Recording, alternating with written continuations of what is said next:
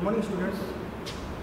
Today's topic, neonatal jaundice जिसको हम assessing करते हैं स्किन या स्कैनर के कलर के द्वारा या क्लिनिकल असेसमेंट होता है इसमें कि जो न्यूनेटल के फेस के ऊपर, यानी फेस से हम इसको असेस करते हैं क्लिनिकल के जोंडिस के सिम्टम जो इसकी नॉर्मल यानी न्यूनेटल जोंडिस तब होता है जब हीमोग्लोबिन का लेवल और पाँच एम से ऊपर का होता है या पाँच एम से तक होता है नेक्स्ट इसमें जो में होती है उसकी वैल्यू वो टू एम जी दिया जाता है और इसकी नॉर्मल वैल्यू जो होती है zero point three two one point one M G है तो neonatal is to clinical assessment for the face to bilirubin level 5 mgdl in adult 2 mgdl and normal value 0.3 to 1.1 1.1 mgdl next लेते हैं definitions definition में ये है। जैसे इसकी definition है हम इसे असेसिंग करते हैं कलर्स को। तो discolouration of the skins and tissue increase the bilirubin level in blood is called neonatal jaundice तो अगर बिलिरुबिन लेवल का बनना और त्वचा में, त्वचा कलर पीला होना या टिश्यू कलर पीला होना जोनिस कहलाता है न्यूनेटल जॉन्डिस कहलाता है। नेक्स्ट देखते हैं हम इसमें टाइप्स दो प्रकार का होता है। पहला होता है फिजियोलॉजिकल नेक्स्ट होता है pathological physiological it occurs to physiological changes यानी फिजियोलॉजिकल चेंजेस के कारण जो होने वाला जॉन्डिस है, उसमें आते हैं। तो पहले इसमें लेते हैं हम कोज क्या क्या कोज होते हैं? पहला होता है इमेचुर liver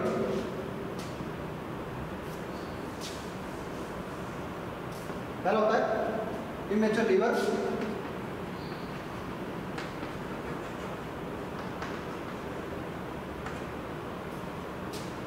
immature liver decrease RBC level of life span यानी आरबीसी का जीवन काल कम होना, यानी जैसे नॉर्मली आरबीसी का जीवन काल 120 डेज़ का होता है, अगर इससे कम है तो वो नियोनिटोडिस को इंडिकेट करेगा। नेक्स्ट इसमें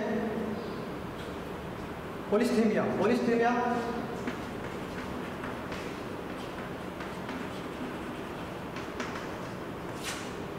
means increase the blood RBC volume यानी ब्लड वॉल्यूम में आरबीसी का आरबीसी का ब्लड वॉल्यूम का बढ़ना पोलिस्थीमिया कहलाता है।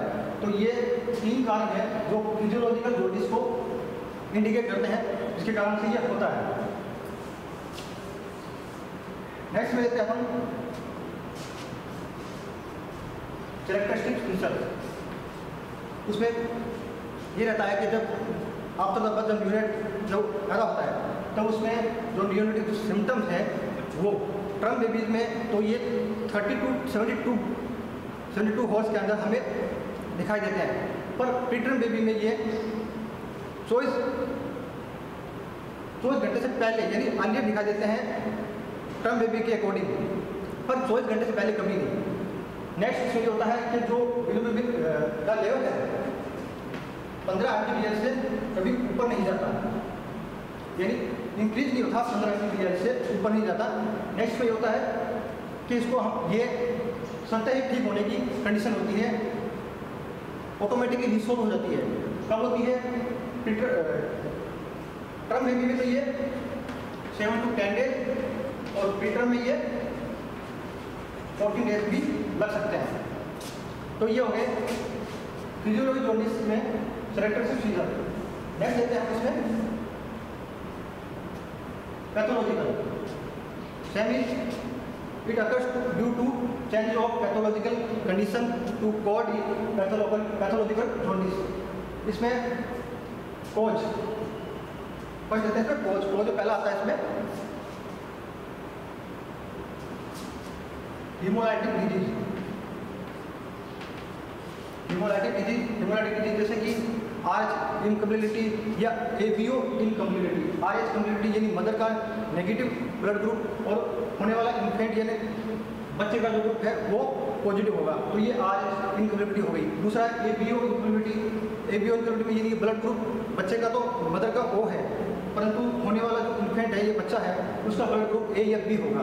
ये हो गई इम्यूनिटी इसके अंदर क्या होता है कि आरबीसी सेल्स का टूटना immunity break down of the RBC cell next में आता है। Sickle cell anaemia sickle cell anaemia क्या होता है? इसमें आरबीसी क्या है? सेल्स है, जो डिस्ट्रॉय हो जाती है, जिसके कारण से परिपूर्ण रूप से ये सेल्स बनती नहीं है। उसको हम कहते हैं सिकल सेल एनीमिया जो किसी कारण से त्वचा का रंग कलर जो है, पीला हो जाता है या वैसे सुपरा टाइप का हो जाता है या काफ़ी फिटनेस हो जाता है। मतलब नेक्स्ट रहते हैं हम फौज में।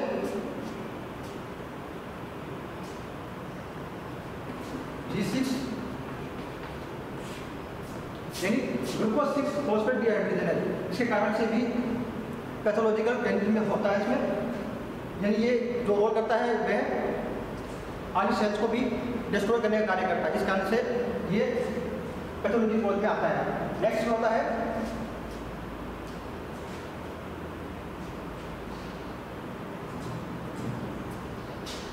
कोर्स के बाद हम लेते हैं।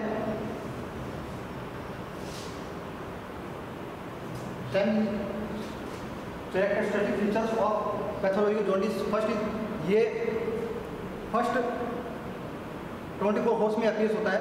मतलब first twenty twenty four hours के अंदर ये हमें जॉन्डिस होता है। और इसमें जो बिलिरुबिन का लेवल है, वह पंद्रह डी एल से भी ऊपर जाता है। और ये ऑटोमेटिकली रिसॉल्व होने वाली कंडीशन नहीं है, इसमें हमें ट्रीटमेंट की ज़रूरत होती है मेडिकेशन की ज़रूरत होती है, तब ये ठीक होता है। नेक्स्ट देखते हैं इसमें कॉम्प्लिकेशन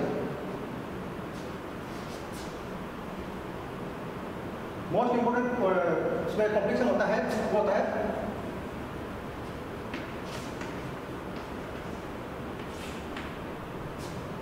कनेक्टेड यानी बिलीबिन एनसेफेलोपैथी यानी ये क्या करते हैं कंडीशन इस कंडीशन में जो है, जो ब्रेन की, जो है सेल्स वगैरह, उसको ये डिस्ट्रॉय करता है।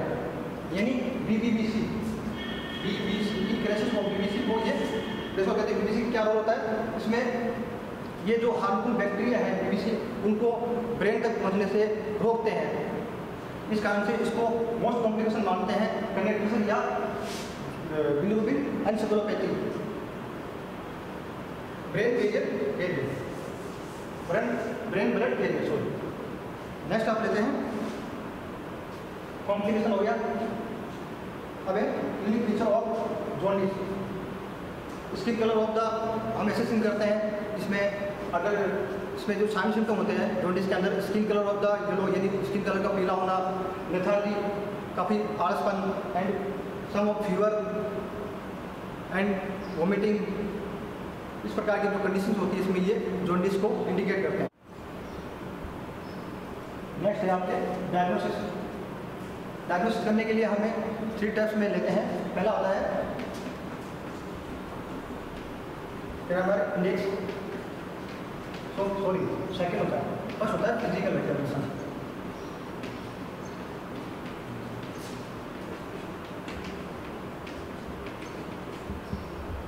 होता है इंट्रोमीटर बहुत होता है बिल्कुल चेकअप बिल्कुल चेकअप चेकअप ये बहुत डायग्नोसिस कंडीशन होती है। पहली होती है फ़िज़िकल एग्जामिनेशन के द्वारा हम जैसे स्किन कलर को देख के जोडिस को इंडिकेट करते हैं। सेकंड होता है कैमरा इंडेक्स इसके दौरान क्या होता है कि इंडेक्स के द्वारा हम यूनिट की बॉडी को अकॉर्डिंग टू बांटते हैं कुछ भागों में। जैसे फेस को थाई को ट्रंक को जॉइंट्स को, और थाई जेनिटल पार्ट्स को। तो you you to see the PPT on Kramer index according to Kramer index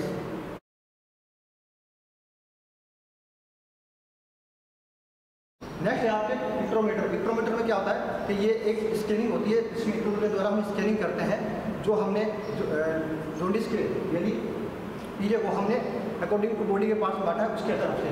next होता है बिल्यूबिन चेकअप यानी ब्लड में हम बिल्यूबिन लेवल को चेक करते हैं। ये मोस्ट कन्फर्म टेस्ट होता है बिल्यूबिन चेकअप नेक्स्ट लेते हैं मैनेजमेंट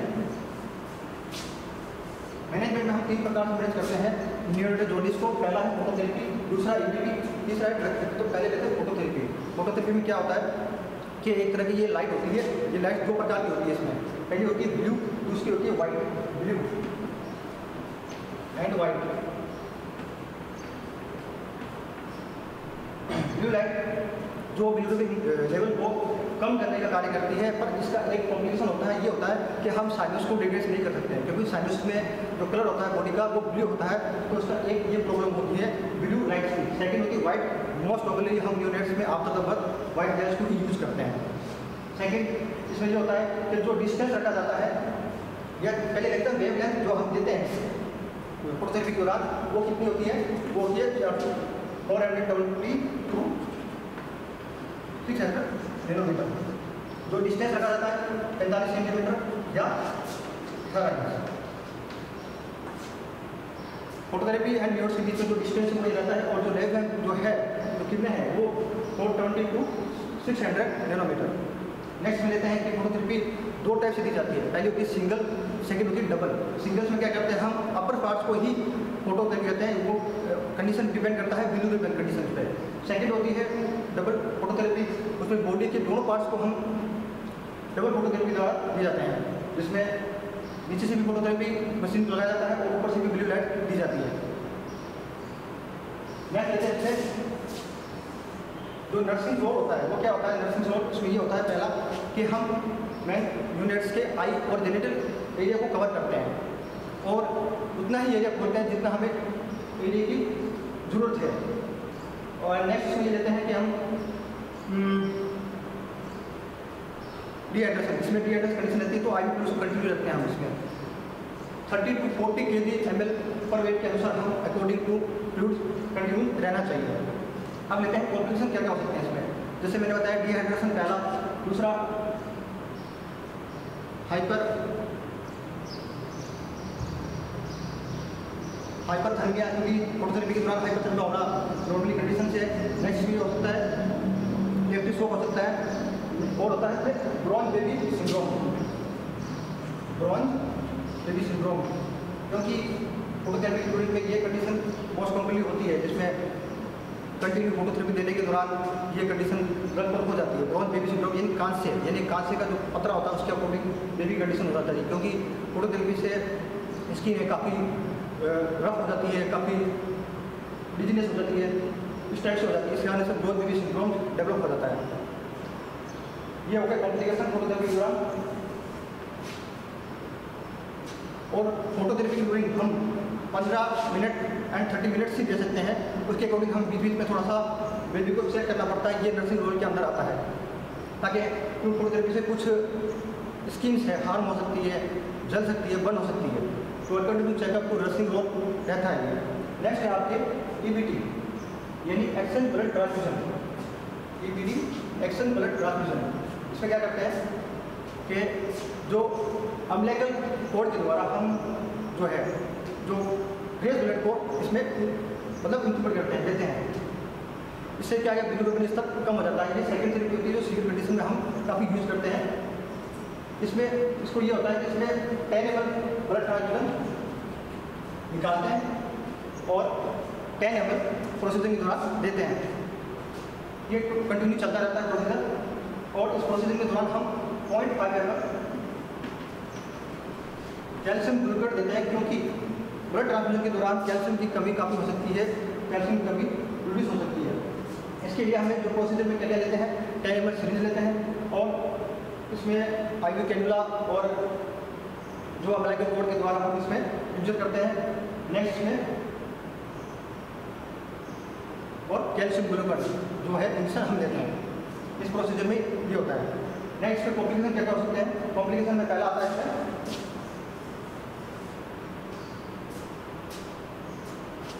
एयर एब्ल्यूजन क्योंकि ब्लड ट्रांसफ़र एयर का जाना स्वाभाविक है तो एयर एब्ल्यूजन हो सकता है।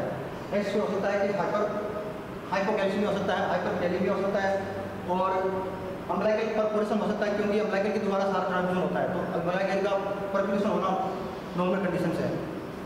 अब लेते हैं हम। ड्रग थेरेपी ड्रग थेरेपी में सभी ड्रग थेरेपी आएगी इसमें। पैरास्टोमोल्स है या आइब्लूट्स है आइब्लूट्स है और नए इसमें जो ड्रग थेरेपी होती है, वो है फिनो बार फिनो बार